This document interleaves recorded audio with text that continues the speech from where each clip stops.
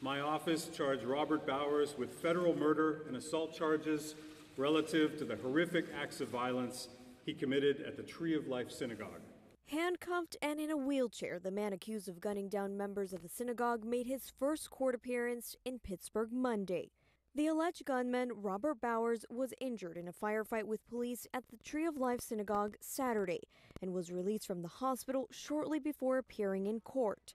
The suspect faces 29 federal charges in the shooting death of 11 people. He was initially represented by public defenders. We will have the opportunity to present evidence demonstrating that Robert Bowers murdered 11 people who were exercising their religious beliefs and that he shot or injured six others, including four of whom were police officers responding to the shooting. One of the rabbis leading his congregation at the synagogue Saturday morning told CNN about the moment he realized he heard gunfire and how he tried to save as many of his members as he could. Quickly tried to usher them up to the front, out some doors in the front, towards exits or towards a closet, someplace that they could hide, someplace safe.